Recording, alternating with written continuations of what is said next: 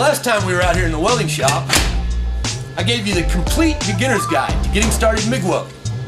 In today's video, I'm going to teach Alex three basic MIG welding techniques for home and garden.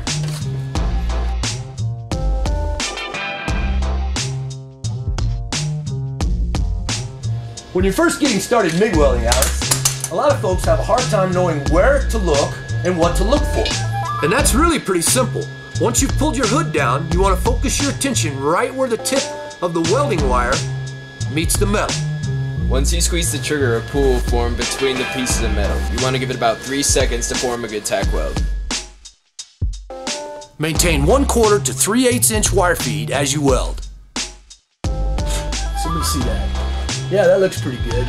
Alright, so once you get your pieces tacked together, it's time to weld them off. And to do that, here, let me show you a little technique that makes it really simple.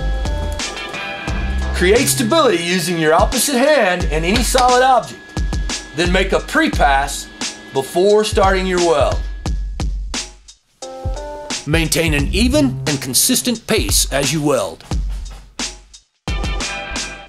So you may have noticed right there I was doing a little looping motion to move that molten material back and forth. And that's a critical part of MIG welding. Why don't you try it?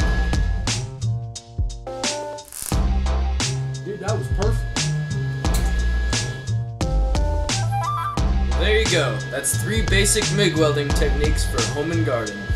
Technique number one was knowing where to look and what to look for.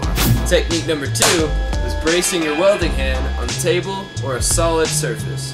Technique number three is pulling the pool in a looping motion between the two pieces. If you enjoy the work we're doing here on this channel, be sure to come over to my homepage, click support, because every contribution is helpful. And if you need one-on-one help with your MIG welding, be sure to come see me over at Helpouts by Google.